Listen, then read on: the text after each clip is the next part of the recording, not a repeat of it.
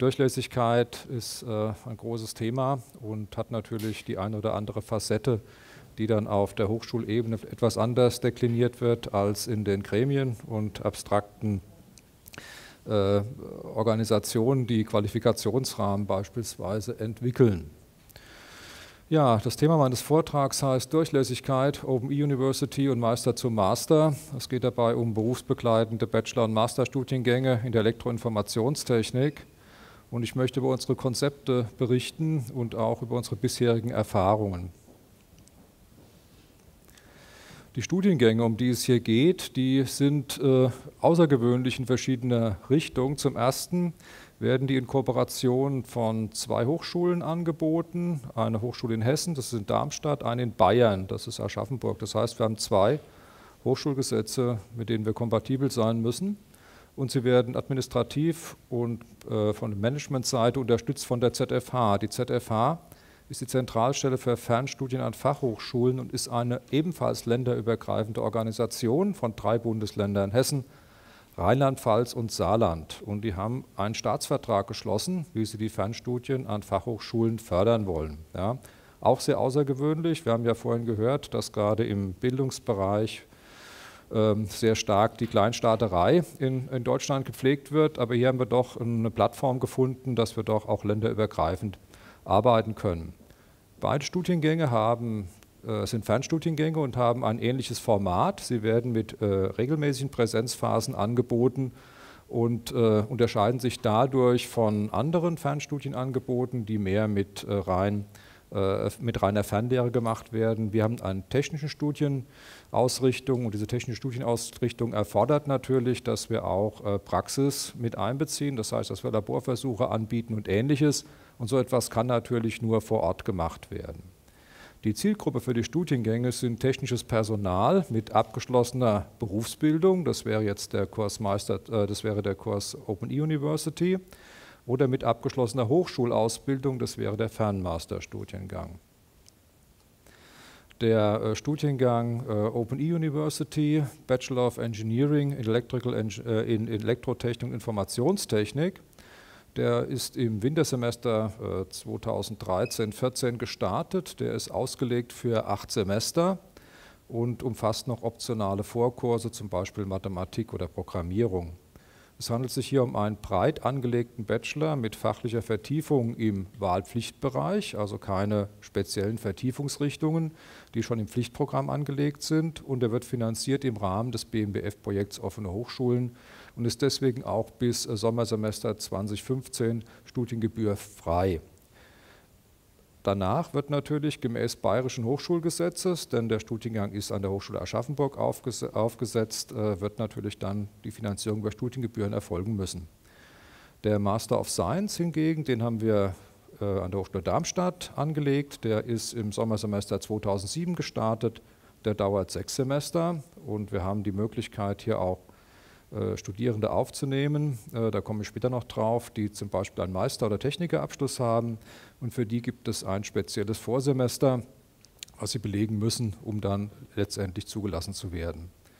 Dieser Master of Science, der hat äh, sehr starken Anteil von nicht-technischen Inhalten, also Betriebswirtschaftslehre, Kommunikation im Betrieb, Projektmanagement und hat drei Vertiefungsrichtungen Automatisierung, Mikroelektronik, Energietechnik und wird zu 100 Prozent aus Studiengebühren finanziert.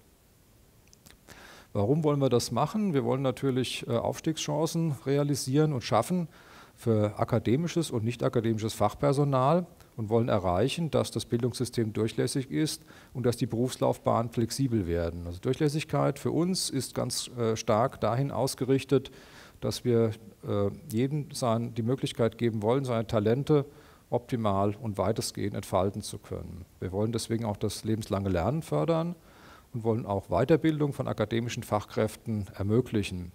Die Zielgruppe für diese Studiengänge sind technisches Personal mit abgeschlossener Berufsausbildung, insbesondere im Bachelorbereich. Der Bachelor of Engineering, na, da ist die Zulassungsvoraussetzung das Bayerische Hochschulgesetz, das heißt, sind qualifizierte Berufstätige. Das heißt, qualifizierte Facharbeiter, Meister und Techniker können zugelassen werden, aber sie müssen ein Beratungsgespräch absolvieren und sie studieren auf Probe. Das bedeutet, sie müssen in den ersten drei Semestern 40 äh, Prozent der dort erwerbbaren CPs erwerben. Wenn sie das nicht schaffen, werden sie exmatrikuliert. Das ist der, die Gesetzeslage in Bayern. Für den Master of Science äh, lassen wir zu akademisch Vorqualifizierte mit einschlägigem Bachelorabschluss oder FH-Diplom und mindestens einjähriger Berufserfahrung im Anschluss. So ist das Weiterbildungswesen geregelt. Seit 2011 haben wir auch die Möglichkeit, äh, qualifizierte Berufstätige nach Artikel 16 Hessisches Hochschulgesetz zuzulassen. Wir fordern hier eine dreijährige Berufserfahrung nach dem Meister- oder Technikerabschluss. Wir fordern auch den Nachweis der Motivation durch ein Bewerbungsschreiben und eine Darstellung des bisherigen Arbeits- und Tätigkeitsverlaufes. Und wir haben ein obligatorisches Vorbereitungssemester über Methoden des Elektroingenieurs eingefügt. Ja, das ist natürlich nicht ganz so, wie man sich die Durchlässigkeit vorstellt, aber es wurde ja vorhin auch in der Podiumsdiskussion gesagt, die Hochschulen sind autonom. Ja, das heißt, es legen Gremien der Hochschulen die Studienordnungen fest, die Prüfungsordnungen fest und auch die Zulassungsordnungen.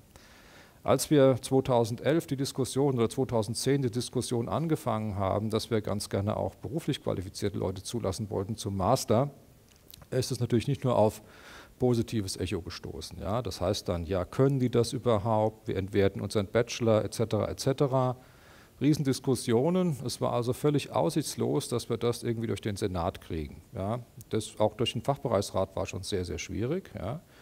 Deswegen haben wir mit der Vizepräsidentin für Forschung und Lehre, äh, für, äh, für, für Lehre an der Hochschule verhandelt und haben also zumindest mal eine Pilotierungsphase aushandeln können, nachdem wir erstmal jetzt mehrere Jahrgänge von diesen Meister- und Technikerstudenten aufnehmen und deren Studienerfolg dann evaluieren. Und wenn der Studienerfolg sich wirklich einstellt und danach sieht es momentan aus, dann können wir wieder vor den Senat treten und versuchen, das als dauerhafte Möglichkeit der Zulassung ähm, einzurichten. Also Sie sehen, es gibt da durchaus zwar diese ganzen äh, äh mehr oder weniger abstrakten Definitionen von Qualifikation, aber letztendlich äh, ist es, wenn sie dann in die Realität treten, doch sehr, sehr schwierig, solche Ideen auch praktisch umzusetzen. Ja. Und man muss natürlich auch sagen, dass unseren Erfahrungen nach die beruflich Qualifizierten doch erhebliche Schwierigkeiten haben. Äh, das zeigt sich, wie ich später noch darlegen werde, in einem etwas entschleunigterem äh, Studium und etwas schlechteren Abschlüssen. Ja, das muss man also auch feststellen. Und das liegt halt einfach daran, das ist vielleicht bei der Elektrotechnik, bei Ingenieurfächern extrem. Wir haben halt eine sehr, sehr starke Formalisierung, eine sehr starke Mathematisierung und eine sehr starke Abstrahierung. Ja, und das läuft eigentlich dem Qualifikationsprofil von beruflich Qualifizierten etwas entgegen, die doch mehr regelbasiertes Lernen gewöhnt sind, die doch mehr ähm, ja, Hands-on Praxis und äh, Praxis nach dem Motto Training on the Job äh, sich die Qualifikation erworben haben. Meiner Einschätzung nach. Ob das jetzt Allgemeingültigkeit hat, weiß ich nicht. Jedenfalls ist es das, was wir aus den Erfahrungen extrahieren, die wir mit den beruflich qualifizierten Studierenden gemacht haben.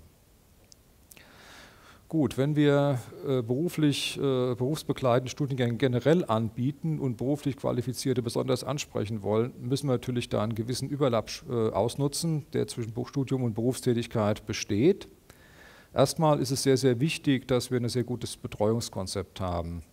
Das haben wir also versucht zu realisieren, indem wir mehrere Mitarbeiter, Mitarbeiterinnen eingestellt haben, die sich ganz gezielt um diese Studierenden kümmern.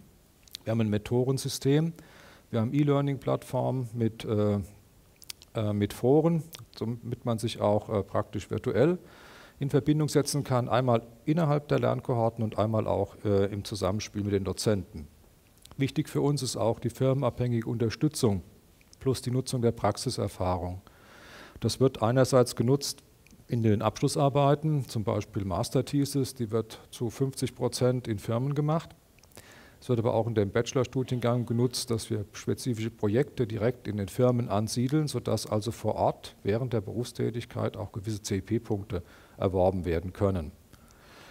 Wichtig ist bei einem Fernstudium, dass man sich die Lerninhalte irgendwo äh, konstruktiv erarbeiten kann im Selbststudium und dazu bedarf es halt spezifischer Lernmaterialien, sogenannter Lehrbriefe, die bei uns noch mit Papier oder auch als PDF verschickt werden. Dazu gibt es die Lernplattform mit äh, zusätzlichen Informationen, E-Learning-Modulen und Ähnlichem. Und natürlich, wie ich eingangs gesagt habe, im Ingenieurwesen ist es sehr wichtig, dass man Laboranteile hat, wo tatsächlich das theoretisch Erlernte dann auch praktisch angewendet wird.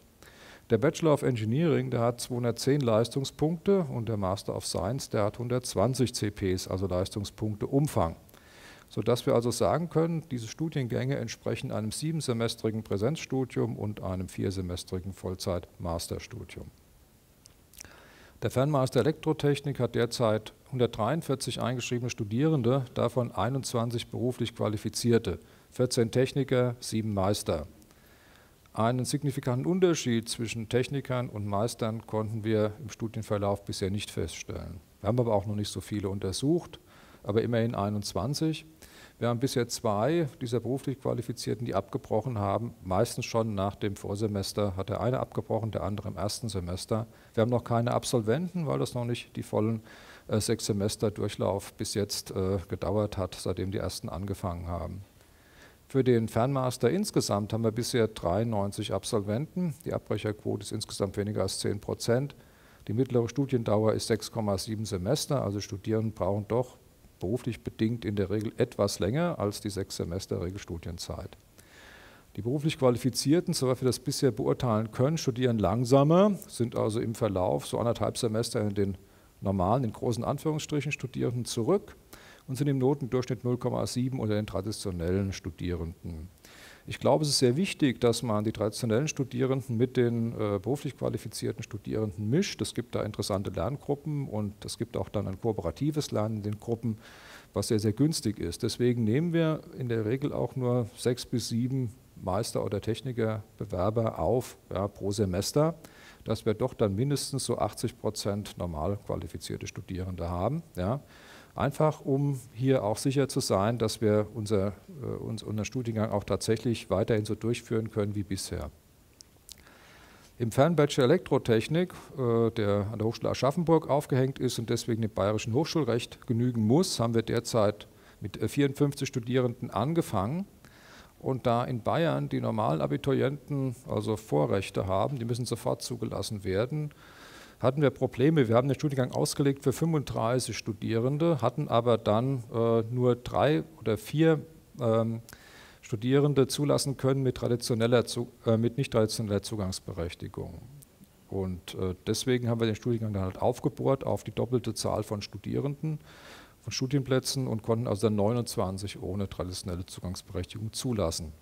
Wir hatten jetzt äh, vor kurzem die ersten Modulprüfungen, daran haben 45 Leute teilgenommen, neun haben sich noch etwas länger Zeit gelassen und haben die ersten Prüfungen nicht mitgeschrieben. Und äh, was sich herauskristallisiert, ist die besondere Hürde für die beruflich Qualifizierten, die liegt nämlich in der Mathematik und in Grundlagen der Elektrotechnik. Also mehr theoretische Fächer, wo es weniger um praktische äh, Tätigkeiten geht. Die werden als sehr, sehr schwierig empfunden. Wir sehen das auch in den Forendiskussionen, dass da sehr, sehr stark Defizite sind. Und wir müssen erst mal sehen, wie wir diese Defizite in der nächsten, im nächsten Kohortengang ab Wintersemester noch etwas besser auffangen können. Da stellen sich natürlich viele Fragen, ja, wie viel Mathematik braucht der Ingenieur? Ja, braucht er die Grundlagen der Elektrotechnik? Also meistens, also es handelt sich da um die physikalische Theorie der Elektrotechnik. Braucht er das wirklich in der Tiefe? Was können wir weglassen, ja, ohne die Qualität des Abschlusses zu gefährden? Oder was müssen wir anders darlegen? Müssen wir vielleicht die Mathematik noch etwas mehr aufstocken? Es gibt also viele Diskussionen, die wir derzeit führen, um so einen Studiengang tatsächlich für beruflich Qualifizierte studierbar zu machen. Ja. Es macht ja keinen Sinn, wenn da äh, Rechte suggeriert werden, ihr könnt es studieren und dann klappt es hinterher nicht. Ja. Weil die Studienordnungen, wie gesagt, die sind äh, für unsere üblichen Studierenden und auch für diese Studenten völlig identisch, die Anforderungen. Die Module sind identisch, die Prüfungen sind identisch. Ja. Also wir haben ja normale Bachelorstudiengänge und normale Masterstudiengänge und der Unterschied für diese zwei Fernstudiengänge, der ist praktisch marginal. Ja. Wir haben natürlich auch die Studierenden gefragt, ja, warum überhaupt sie auf die Idee kommen, jetzt äh, sich nochmal weiter zu qualifizieren. Die Studienwahl ist aber interessanterweise sehr stark intrinsisch äh, motiviert, insbesondere bei dem Fernmaster. Das Studium bei dem Fernmaster wird in der Regel nicht sehr stark vom Arbeitgeber gefordert. Ja, das wird nicht gemacht. Das wird nur zu 25 Prozent bejaht. Wir haben auch überlegt, E-Learning, weil ja dieses Bachelor-Projekt äh, Open E-University heißt, das muss der absolute Renner sein, hat sich aber herausgestellt, dass gerade die papiergebundene Version der Lehrbriefe, dass das eigentlich das zentrale Medium zur Wissensvermittlung geblieben ist. Wir haben auch festgestellt, obwohl wir einen Fernstudiengang haben, bei dem Studierende aus ganz Deutschland kommen, dass sich da Lerngruppen bilden, die sich dann auch selbst organisiert treffen und gemeinsames Lernen betreiben. Bei dem Fernbachelor haben wir Studierende und Studieninteressierte befragt letzten Sommer und es hat sich herausgestellt, wir haben ein sehr, sehr heterogenes Bildungsniveau. Es sind auch Studienabbrecher beispielsweise dabei, es sind äh, Leute dabei, die mittlere Reifen Berufsausbildung haben. Es sind Leute dabei, die Abitur haben, Fachabitur haben, Berufsausbildung haben. Ist sehr, sehr heterogen. Es steht, besteht ein sehr, sehr starkes Interesse an der Aufstiegsqualifizierung und erwartet werden halt bessere Chancen auf dem Arbeitsmarkt. Als Hindernisse werden genannt, das hat sich auch realisiert, das ist die Mehrfachbelastung, Beruf, Familie, Studium, äh, die Leute sind zeitlich unflexibel, es gibt finanzielle Gründe und fehlende Vorkenntnisse, wobei die fehlenden Vorkenntnisse für den Studienerfolg eigentlich das zentrale Problem sind und wir natürlich eine gewisse äh, Schwierigkeit haben. Wir können das Studium nicht beliebig lang ausdehnen, um diese Vorkenntnisse praktisch im Vorfeld erwerben zu können. Wir müssen ja auch sehen, die, äh, die Studierenden, die wollen ja nicht dann, was weiß ich, zwölf Semester, 14 Semester studieren, bis sie einen Bachelor haben. Das macht ja auch keinen Sinn. Das hält auch sowieso keiner durch. Also es gibt da doch gewisse Probleme, das optimal zu gestalten. Ich bin aber schon der Meinung, dass gerade die beruflich Qualifizierten deutlich mehr Zeit brauchen, um in der Anfangsphase ins naturwissenschaftlich-technische Studieren hineinzukommen. Es gibt äh, didaktische Konzepte, die wir anwenden. Wir haben uns da an Herrn Mandel gehalten. Wir haben versucht, das Lernen als aktiven, konstruktiven, emotionalen, selbstgesteuerten sozialen Prozess zu gestalten. Wir haben also diese Lernkonzepte vor diesem Hintergrund der genannten Bedingungen entwickelt und äh, sehen den Unterricht nicht nur als Transport von Wissen, sondern als Arrangement von Lehr- und Lernmöglichkeiten. Wir haben natürlich auch den Praxisbezug immer im Blick. Wir sind ja eine Hochschule für angewandte Wissenschaften, also ohne Laboranteile und Präsenzphasen äh, glaube ich nicht, dass wir ein Studium durchführen können, was unseren Anforderungen genügt. Und wir müssen natürlich die Unterschiede in den Lernerkohorten in irgendeiner Art und Weise in den Griff bekommen. Wir machen äh, in der Regel natürlich die Lehrbriefe mit Lehrbriefen und E-Learning-Materialien, haben aber auch einen sehr starken Anteil von Präsenzlehre. Das heißt, die Studierenden sind bei beiden Studiengängen alle vier Wochen zwei Tage bei uns an der Hochschule. Und äh, das schafft natürlich eine sehr gute Vernetzung unterhalb, den, innerhalb der Studierendengruppen und schafft auch einen sehr guten Kontakt zu den Lehrenden. Ja. Das ist also ein großer Vorteil. Die Präsenzveranstaltungen holen teilweise den Lehrbrief nochmal nach, beantworten aber auch sehr viele Fragen. Wir arbeiten auch an Problemstellungen, machen Laborübungen, schreiben Probeklausuren und ähnliches. Die Präsenzlehre, wie gesagt, zwei Tage pro Modul. Wir versuchen, den Lehrinhalt aus dem Lehrbrief zu intensivieren, eine Problemorientierung herzustellen und den Anwendungsbezug zu schaffen. Die Lehrbriefe sind genormt, alle 100 Seiten lang pro Modul und umfassen den gesamten Lerninhalt. Dann gibt es halt E-Learning-Module. Wir schließen die Lücken zwischen Präsenz und Lehrbrief durch E-Learning. Wir versuchen, die Lerninhalte multimedial aufzuwerten. Wir bieten Online-Übungen, Online-Quizzes und Ähnliches an und nutzen das zur Kommunikation und Betreuung. Gerade bei dem Projekt Open E-University haben wir ja auch die finanziellen Mittel vom BMBF bekommen, um das besonders stark auszuprobieren bauen diesen E-Learning-Anteil. Wir machen Lernvideos, zeichnen Aufgaben auf, äh, haben aufbereitete Screencasts von Lehrveranstaltungen, machen geführte Übungsaufgaben, Videos für problemorientiertes und kooperatives Lernen und haben auch virtuelle Klassenzimmer eingerichtet. Das sind so Beispiele aus dem Projekt, wie wir das machen können, also Vorlesungsmitschnitte, Vorlesungsskripte, die veröffentlicht werden, und auch praktische Versuche, die nochmal online nachgeschaut werden können. Wenn wir auf den Outcome gucken, Outcome-Orientierung war ja heute früher auch äh, großes Thema. Ingenieurstudium oder akademische Weiterbildung ist auch ohne Abitur möglich, wenn ausreichend berufliche Erfahrung vorliegt. Es ist ganz wichtig, dass wir die richtigen Bewerber auswählen und das tun wir anhand der vorliegenden beruflichen Erfahrung, die nachgewiesen werden muss. Interessanterweise sind die theoretischen Defizite auf Masterniveau leichter auszugleichen als im Bachelor. Das mag vielleicht verwundern. Qualifikationsrahmen setzt ja den Bachelor und den Master auf verschiedene Stufen. Aber es ist so, ein Masterstudiengang, zumindest in der Elektrotechnik, ist halt eine sehr starke Spezialisierung in ein Spezialgebiet der Elektrotechnik. Ja. Und äh, da kann man natürlich berufsbezogen schon jede Menge Know-how mitbringen. Zum Beispiel Automatisierungstechnik als Beispiel äh, da könnte ich mir das sehr gut vorstellen, dass das geht und das geht auch weitestgehend mathematikfrei. Ja. Der Bachelorabschluss hingegen, der ist ganz anders aufgesetzt, der qualifiziert äh, breiter und nachhaltiger, weil er nämlich den Studierenden die theoretischen Grundlagen vermittelt für das Arbeiten als Ingenieur. Und deswegen ist es sehr viel schwieriger, meiner Einschätzung nach, beruflich qualifiziert einen Bachelorabschluss zu erwerben, als beruflich qualifiziert einen Masterabschluss zu erwerben. Das sind unsere Erfahrungen, die wir dazu haben. Wir können mit geeigneten didaktischen Methoden doch mit großer Zuversicht äh, hohe Studienerfolgsquoten realisieren. Wir haben an öffentlichen Hochschulen natürlich auch äh, hohe Qualitätsstandards. Äh, da ist natürlich die Akkreditierung ein Thema. Beide Studiengänge sind akkreditiert. Ja. Aber wichtiger ist natürlich auch die studentische Evaluation und die Rückkopplung der Ergebnisse der Evaluation an die Lehrenden. Und das betreiben wir sehr intensiv. Ja. Wir fragen die Studierenden praktisch zu jedem Modul, zu jeder Prüfung, wie sie es empfunden haben, anonymisiert versteht sich und arbeiten das dann mit den Lehrenden durch, um da Defizite auszugleichen. Haben auch schon diverse Lehrende leider austauschen müssen, die nicht so richtig da das geboten haben, was gebraucht wurde. Wir haben auch schon verschiedene Module abgeändert, ja, weil die Inhalte äh, nicht zielführend gewesen sind. Die Einbindung der Arbeitgeber ist besonders bei dem Bachelorstudium sehr wichtig. Das geht viel, viel länger, ja, also acht Semester. Und wenn ich das einfach mal hochrechne, das wird vielleicht zehn Semester bei den meisten dauern. Und da muss der Arbeitgeber schon in gewisser Weise dahinter stehen. Und die Arbeitgeber selber haben natürlich auch ein hohes Interesse.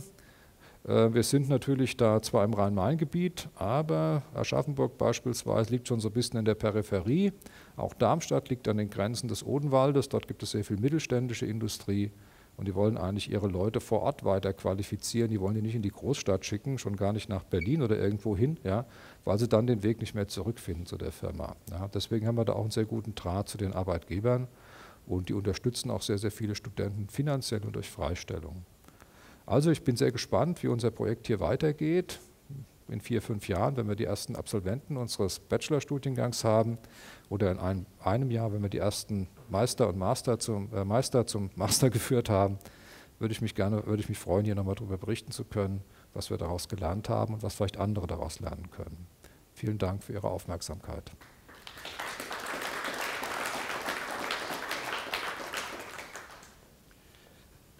Wenn Sie jetzt äh, mal einordnen müssten, die äh, Meister auf dieser Qualifikationsstufe 6, sind die da gut aufgehoben? Kommen die bei Ihnen gut klar? Also in Ingenieurstudiengängen meiner Meinung nach nicht, ja, weil es sind ganz andere Qualifikationen, die ein Meister hat. Ja. In der Meisterausbildung kommt es auch sehr stark darauf an, dass ich also wirtschaftlich handeln kann. Das ist das eine. Ich glaube nicht, dass die fachliche Durchdringung ja, der, der, Ingenieurwissenschaft, Elektrotechnik bei den Meistern in adäquater Weise vorliegt. Ja, das ist vielleicht hier ketzerisch in diesem Rahmen, das so zu sagen. Aber ich kenne sehr viele Meister und ich weiß auch, wie die sich einschätzen. Und die wollen auch nichts anerkannt haben. Wollen sie überhaupt nicht. Weil mit Anerkennung haben wir überhaupt gar kein Problem. Ähm, wir würden zwar gerne was anerkennen, gerade aus der beruflichen Praxis, wird aber überhaupt nicht gewünscht. Es wird kaum nachgefragt. Und der Grund dafür ist, dass die schon sehen, okay, es ist da eine andere Liga, in die ich da aufsteigen will, ja, und da wird anders äh, agiert, ja, da wird auch anders, die Dinge werden anders betrachtet, ja, und äh, von der Seite her sehen die schon, dass die Defizite da sind und versuchen natürlich die Zeit zu nutzen, sich optimal weiter zu, zu qualifizieren ja, und auch Kompetenzen zu erwerben und Kenntnisse zu erwerben, die sie vorher nicht hatten. Deswegen muss man das ein bisschen differenzieren. Es gibt bestimmt Studienfächer, wo der Übergang ins Akademische leichter ist. Ja, ich sage jetzt mal Betriebswirtschaftslehre. wenn Sie der Steuerberater, Gehilfe oder wie der Beruf heißt, sind, ja, dann ist für BWL für Sie bestimmt kein großes Problem mehr. Ja. Aber hier ist doch der Zugang ein anderer. Man muss wirklich sehen, dass die Hauptdefizite bei den Meistern gerade in den Vorkursen sind die Mathematik. Ja. Und die braucht man gerade im Bachelor ganz, ganz intensiv. Das wird einfach vorausgesetzt, da steht ein Integral an der Tafel oder steht irgendwas anderes, eine Transformation wird da irgendwo vorausgesetzt. Und das können Sie zwar relativ schnell den Studierenden erklären, aber dass man da wirklich versteht, was da dahinter steht und damit auch umgehen kann und ein Problembewusstsein entwickelt, das dauert einfach Zeit.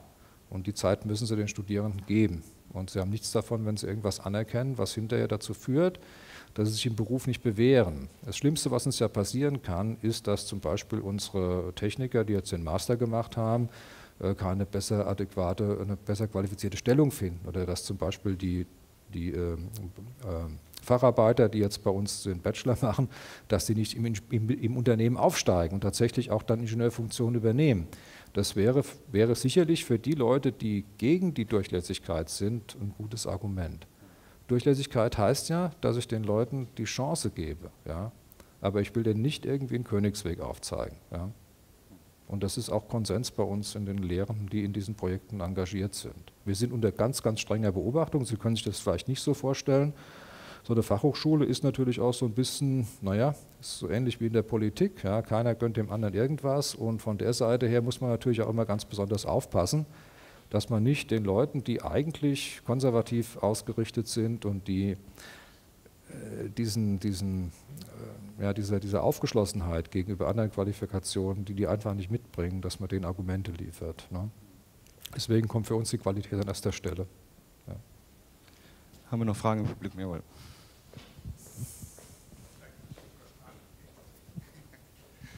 Vielen Dank, Schinke, Konferenz der Fachbereichstage.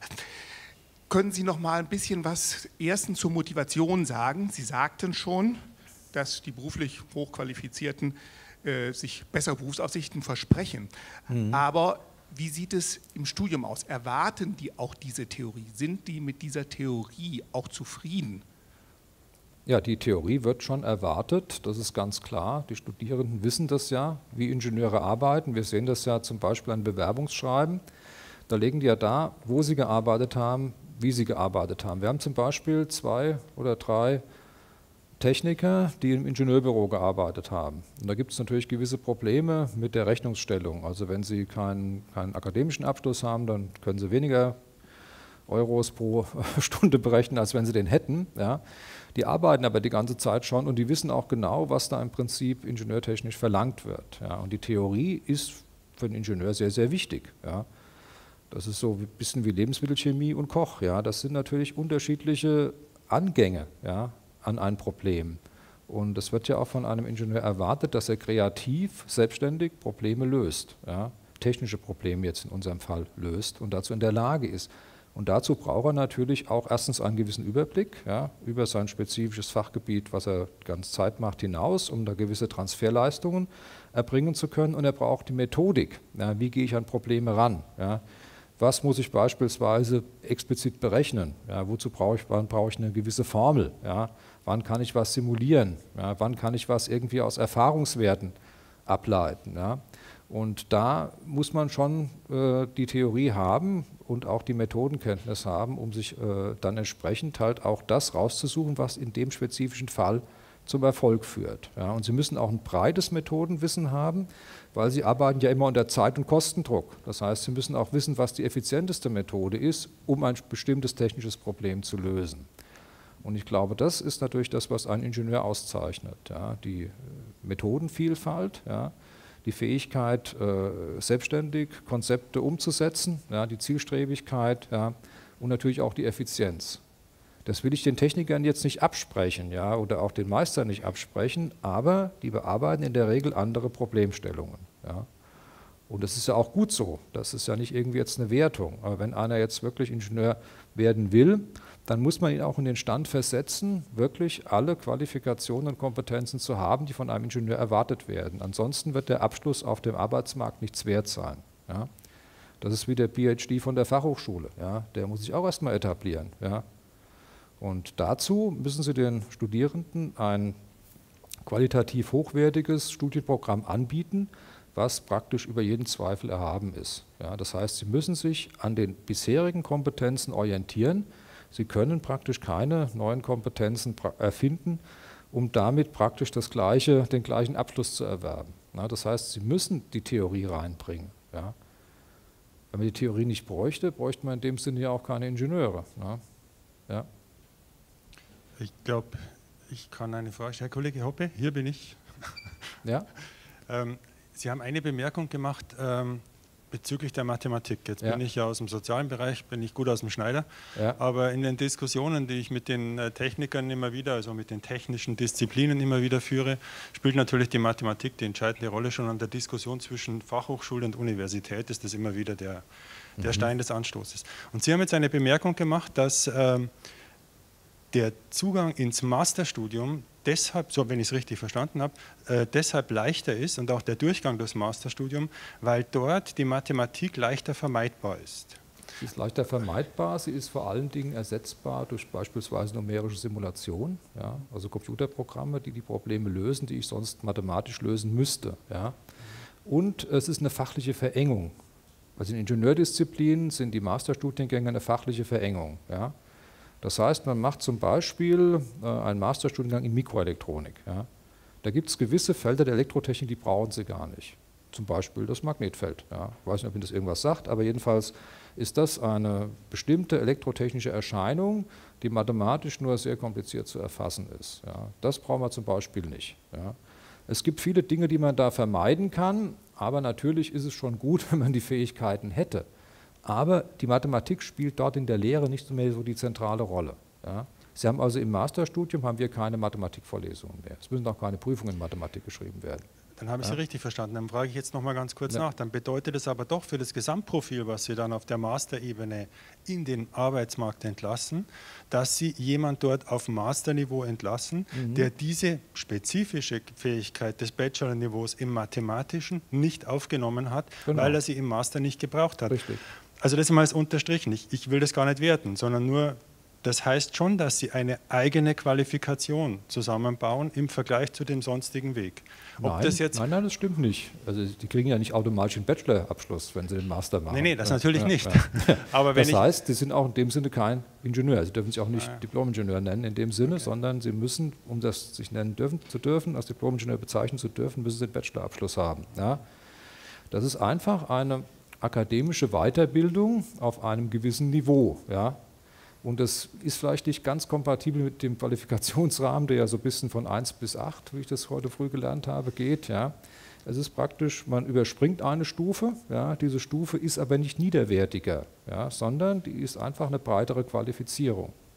Ja. okay, akademisch bin ich ganz auf Ihrer Seite. Es hat schon immer die Möglichkeit gegeben, direkt zu promovieren zum Beispiel, in, Mhm. Ja. in vielen Bereichen, ohne dass Sie ein Diplom-Ingenieur oder sonst was waren. Ja. Und das ist eben dann eine andere Qualität, um Das die ist es eine geht. andere Qualität. Aber in richtig. dem Spiel, in dem wir momentan sind, ist es eben eigentlich eher nicht die akademische Qualität, sondern die Berufsqualität, die hier eine Rolle spielt. Und da bin ich jetzt ein bisschen kritisch. Aber ich danke Ihnen für die Klarstellung. die Berufsqualität, das verstehe ich jetzt nicht. Was, was meinen Sie? Ja. Diese, diese, also die Durchlässigkeitsfrage geht ja nicht in Richtung der spezifischen akademischen Möglichkeiten, zum Beispiel eine Promotion oder einen Masterabschluss Mhm. zu machen, sondern die damit hier jetzt diskutierte Möglichkeit ist ja, in entsprechende arbeitsmarktrelevante Konkurrenz zu akademischen Abschlüssen zu kommen, weil beide dann, der Diplom-Ingenieur sowieso und der Master nebeneinander stehen und die gleichen Bereiche bedienen wollen. Ja, darum geht es uns. Uns geht es praktisch nur um das berufliche Weiterkommen der Studierenden. Noch eine Frage? Ja, Lakatos FH Kaiserslautern. Wir haben ähnliche Konzepte wie Sie auch. Also wir haben, arbeiten auch sehr viel im Blended Learning Bereich. Ähm, und von daher war das jetzt sehr interessant. Sie haben also im Grunde genommen dieselben Herausforderungen, die auch wir immer wieder ähm, finden. Ähm, eins haben Sie anders gelöst als wir. Wir haben zum Beispiel Mathe-Vorkurse, bieten wir an und auch in anderen Bereichen, Physik etc., Programmieren, Vorkurse. Ja. Sie haben ein Vorbereitungssemester. Wir haben ein Vorbereitungssemester. Ähm, da würde mich interessieren, wie gehen Sie da operativ vor? Ist, sind, das, sind die dann als Studenten schon eingeschrieben, sozusagen ein nulltes Semester oder ist das eher so Frühstudiumstadion? Nein, das ist ein nulltes Semester, die sind schon eingeschrieben und zugelassen. Weil äh, die bekommen natürlich im Rahmen dieses Pilotprojektes, bekommen sie, wenn sie eine entsprechende Bewerbungsmappe abgeben und wir das Gespräch mit denen positiv geführt haben, auf der Master-Ebene reden wir jetzt gerade, ja, bekommen die eine Zulassung. Das heißt, es sind eingeschriebene Studenten und äh, wir machen dieses Vorbereitungssemester im Prinzip immer im Wintersemester. Die können aber auch schon im Sommersemester anfangen, weil unser erstes Mastersemester ist im Wesentlichen Programmierung und äh, Kommunikation im technischen Umfeld. Ja, so ein sanftes Einstiegssemester, das können die mitmachen. Dann im Wintersemester fassen wir die Meisterkohorten und die Technikerkohorten zusammen zu einem Vorbereitungssemester. Und da geht es um Methoden der Elektrotechnik. Ja.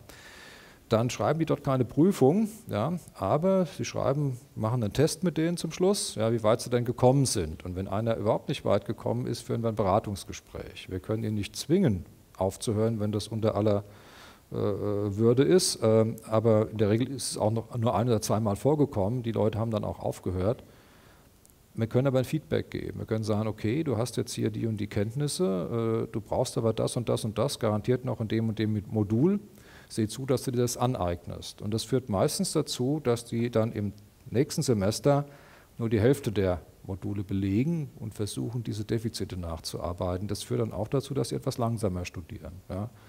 Also so haben wir das gelöst. Das liegt einfach in der Konstruktion Pilotphase. Ja, wir haben also keine eigene Studien- und Zulassungsordnung für diese Studierenden erlassen können. Da habe ich Ihnen ja vorhin erzählt, dass es da doch gewisse ja, Hemmschuhe gibt und äh, dass es halt sehr, sehr schwierig ist. Und ich finde es auch ganz gut so, weil wir jetzt eigentlich die Möglichkeit haben, das freier zu gestalten. Ansonsten müssten wir ja wirklich jede Änderung durch alle Gremien äh, durchbringen. Das dauert immer so ein bis zwei Jahre. Und das bringt ja dann nichts mehr für die Leute. Wenn, wenn wir irgendwie ein Defizit sehen, können wir das jetzt relativ schnell korrigieren. Und von der Seite ist es eigentlich ein ganz guter Weg. Und wir hoffen, dass wir dann mal so 30, 40 Absolventen irgendwann sehen in zwei, drei Jahren und dass wir die dann mal genau in ihrem Studienverlauf analysieren können und dann versuchen können, wo muss denn da im Vorfeld gearbeitet werden. Das heißt, was brauchen wir für Vorkurse? Es gibt da also bei uns im Prinzip keine Erfahrungen bisher. Ja. Und äh, man macht das so gefühlt, Mathematik ist wichtig, Programmieren ist wichtig, vielleicht ist da ein bisschen Physik wichtig, vielleicht noch Chemie, keine Ahnung. Ja. Und das muss halt irgendwie quantifiziert werden.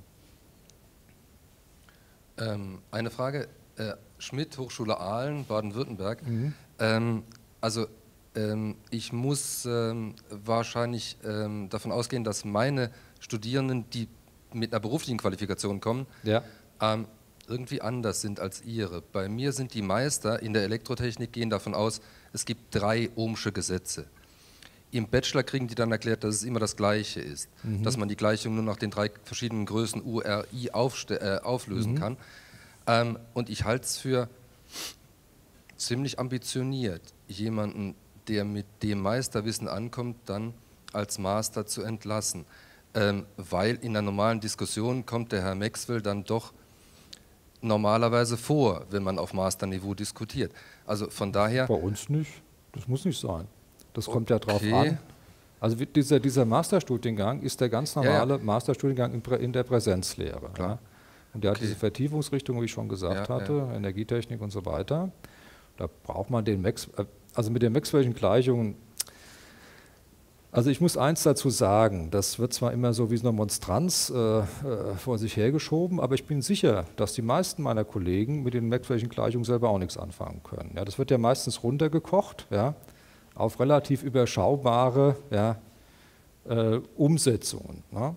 Also ich brauche mich selber nicht zu verstecken, ich bin theoretischer Physiker, ich weiß, was der Maxwell damit gemeint hat und von der Seite her muss man schon sagen, dass in den Ingenieurfächern doch ähm, wie soll ich das sagen, ja, doch ein bisschen weniger intensiv gehandhabt wird. Und wir haben im Masterbereich keine spezifische theoretische Elektrotechnik oder Mathematik oder ähnliches. Ja. Die Mathematik kommt bei uns nur auf, äh, in ein oder zwei Modulen explizit vor. Das sind einmal in der Simulation, also numerische Verfahren, ja, numerische Mathematik machen wir noch. Vielleicht in der Feldtheorie, in der Hochspannungstechnik kommt noch ein bisschen Mathematik, aber das wird dann auch simulativ gelöst. Ja. Also ich bin mir ziemlich sicher, dass man in diesem Studiengang mit relativ wenig Mathematik auskommt. Ja. Die Vertiefung und die... Äh, ähm, Sie, haben, Sie haben die Mathematik halt an den unteren Rand des, des Machbaren gefahren. Ja. Oder? Nein, wir haben mit der Mathematik gar nichts gemacht. Das Studium selber, der Masterstudiengang, der läuft schon seit 1900, was weiß ich was, 99. Ja. Und der hat im Prinzip noch das gleiche Curriculum wie damals. Ja? Und der hat sich spezifisch damals an Fachhochschuldiplom-Studenten gewendet. Ja? Und in diesem Studiengang, ich meine, äh, man braucht, also ich bin mir ziemlich sicher, ich kenne ja die Module alle, also die Mathematik selber, was, was verstehen Sie, wann braucht man die Mathematik? Wenn man algebraische Gleichungen löst, ohmsche Gesetz, natürlich braucht man da die Mathematik. Ja? Aber man braucht zum Beispiel keine, was weiß ich was, Wegintegrale, in der intensiven Form Man braucht viele Dinge eigentlich nicht. Ja. Die werden implizit vorausgesetzt. Und wenn das einer nicht versteht, ja, muss er das nacharbeiten. Ja. Wenn Sie zum Beispiel Laplace-Transformation betrachten, als Beispiel, das ist Integralrechnung, aber Sie können das auch ohne Integralrechnung machen, wenn Sie die Tabellen können und wenn Sie halt entsprechende Partialbruchzerlegungsfähigkeiten haben. Ja. Ja, also Sie brauchen das in dem Sinne nicht. Wir schreiben, also wichtig für die Studierenden sind ja die Prüfungen, die abgenommen werden. Und eine, es gibt keine explizite Prüfung, die Mathematik im reinen Sinne abverlangt. Ja, an der Stelle vielen Dank, Herr ja. Professor Hoppe.